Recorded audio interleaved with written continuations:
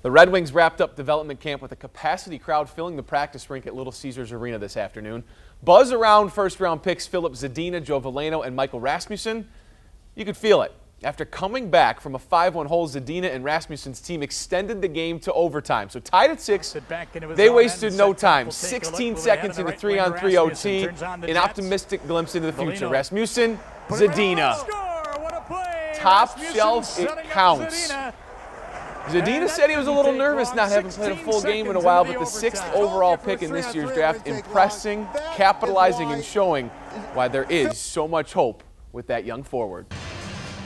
It was kind of quick, so and I don't know. Uh, the rest, uh, you know, he, he passed me very well, so I just get it and score a goal. So uh, was was a pretty good feeling. You gave the people what they wanted. Oh yeah, for sure. Oh, I was kind of nervous that I, you know, I had like lots of like opportunities to score, but I, you know, but I haven't scored. So and then just you know finally came. Phil's obviously very skilled. He can shoot the puck really well, and just gets gets himself in good spots to shoot. If you can give him the puck with you know two or three feet in front of him, he'll shoot he'll shoot it, and he'll have a good uh, opportunity to score. So he doesn't need very much room, that's for sure.